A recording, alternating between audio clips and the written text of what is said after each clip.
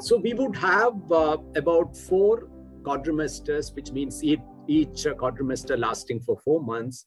Uh, so that makes it uh, 16 months of uh, intense activity with appropriate breaks in between. So therefore, that's our 18 month program. Now at XLRI, uh, we definitely expect the students to put in the requisite effort to uh, successfully complete each and every course. However, we are also cognizant of the fact that the students are uh, working executives, so they have to balance the commitment between work and studies.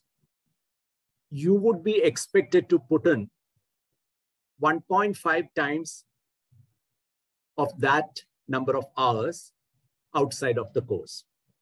Here in our regular programs, it is almost three times. But these are executives, these are experienced people. So what we are expecting is 1.5 times of the coursework will have to be uh, done outside of the classroom.